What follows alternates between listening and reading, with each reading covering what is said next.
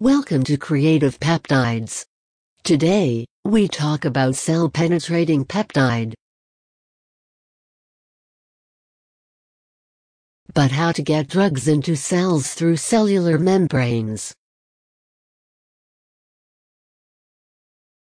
The answer is cell-penetrating peptide. What are cell-penetrating peptides? Cell-penetrating peptides, also known as protein transduction domains, are used to deliver biologically active molecules across cellular membranes into cells. This method was an important breakthrough in cell biology, and the research in this field has gained much attention in recent years. Historical there are several fundamental investigations in cell-penetrating peptides which deserve credit. In 1987, Bienert and his group first illustrated a receptor-independent activation of mast cells by substance P analogs. Following dispermation studies, SB sequences were used for uptake studies and new amphipathic model peptides were developed. In 1988, the cellular uptake of transactivator of transcription from HIV-1 was reported by Frankel and Pabo. Another breakthrough in this area was the discovery of 60-mer peptide which is able to penetrate the cells of neuronal cultures. Substance P is a modulator of pain transmission. As an extremely potent vasodilator, it produces significant bronchodilation in normal and asthmatic subjects and a maximal increase in forearm blood flow.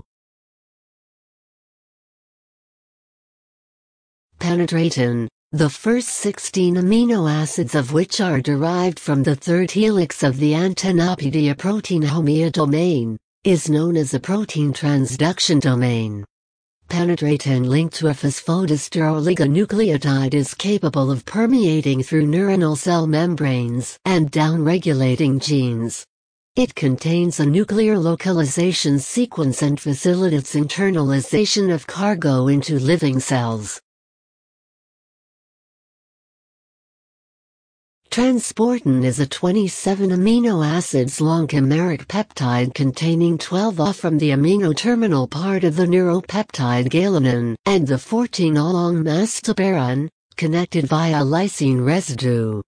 TP reveals some characteristic features of both galenin and mastoperin since it inhibits the binding of galenin to GLB1 receptor as well as modulates the activity of G proteins due to the inhibition of BAS activity.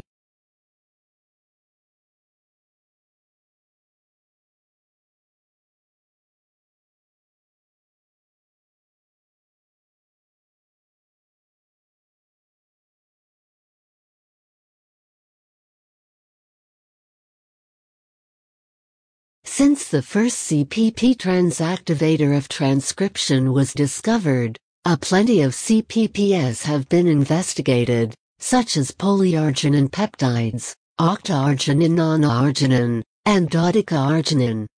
CPPs could be mainly classified into five groups based on their physical chemical properties, which are cationic peptides, hydrophobic peptides, amphipathic peptides, prolin-rich and antimicrobial peptides, and chimeric peptides.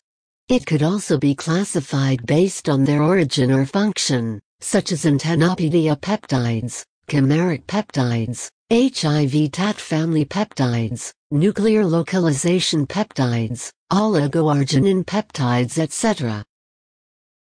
If you need peptides and related services, please don't forget to contact us.